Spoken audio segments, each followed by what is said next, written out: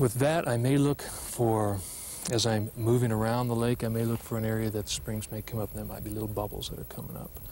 Uh, if it was much warmer weather, well, it's pretty warm now, you might even go without waders just to feel the difference in temperatures when you're looking for cooler water around the springs. And you, you just paddle around you can sometimes feel it or see it with the bubbles. Do the fish like that colder water? During the warmer weather, they will. It's just nice to know it's there, that if you're not hitting other places, if you don't see them cruising the shoreline, that they may be looking for that cooler water. Or maybe it's, uh, maybe it's warmer in, in real cold water areas because the springs will come out at a fairly constant temperature.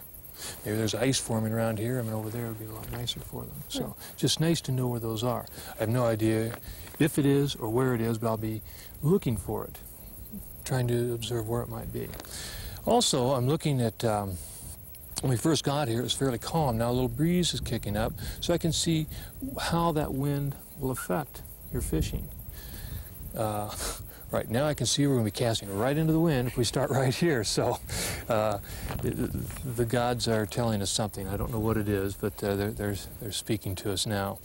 The little bit of a breeze, which is okay for fishing. In fact, it's okay for along here too, because that lets me know that anything that might be drifting in the water would be coming right up to this shore, and where would be a likely place for the fish to look for it? Right up along this shore, along the reeds. So that's another indication that would be good. I would also look for points that come out like this that are almost perpendicular to the wind mm. so that as the wind is blowing by there's there's calm area behind it that fish will cruise that area a lot I've mm. seen that a lot we're in uh, central Washington now but any place that there's a, a lot of wind you observe that how fish feed in that wind. Just because it's blowing like crazy doesn't mean the fish aren't feeding. It's starved to death over here. I mean, the wind blows a lot and a, and a lot of the time. So you have to learn to use that wind to your advantage, not only in your casting, but also in your fishing.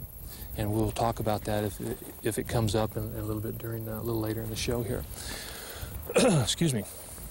The uh, wind as it's coming this direction at us, it'll also tell you if it really kicks up that if you remember what's going on over here, we can look, see it's calm. There's a bay back in there, it's calm. That whole side over there, if it keeps this direction, that if it's really too bad to cast into, we can move over to the other side.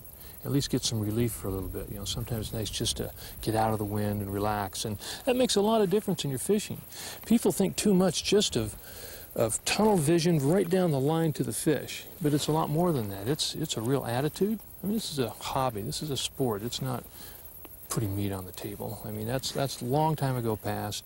This is a lot, not a lot different to myself and probably to you and to other people I know than golf is to someone or tennis is to someone. It's, it's a hobby and a sport that you enjoy doing and not just for one particular reason, not just for bringing a fish up and whacking it on the head and throwing it on the table. It involves everything. So getting out of the wind, improving your attitude is part of the, is part of the uh, day. And I'm, I'm a real firm believer of that. I've taught too many schools where people are out here and it just beats them to death. If you just let them rest, a, kind of a second wind, mm -hmm cast a little bit different area, fish a little different tactic, makes all the difference in the world. So I'm also looking for that kind of a situation here too. Uh, there, there are several people fishing it. As much as I hate to admit it, that's a real good indication if they're all in one spot where there might be a lot of fish. Uh, if there was nobody here, of course, that wouldn't be there. But what I see here is a boat over there, and one there, and one there, there, here. There's not much going on in any one place. I've seen a few fish caught, so it's pretty sporadic. Fish may be cruising. I've seen a few rises along shore here, so things aren't aren't concentrated and they're not a ball of fire at any one place. So uh, it's going to take some searching out, trying to figure out what they're doing. They may be very deep.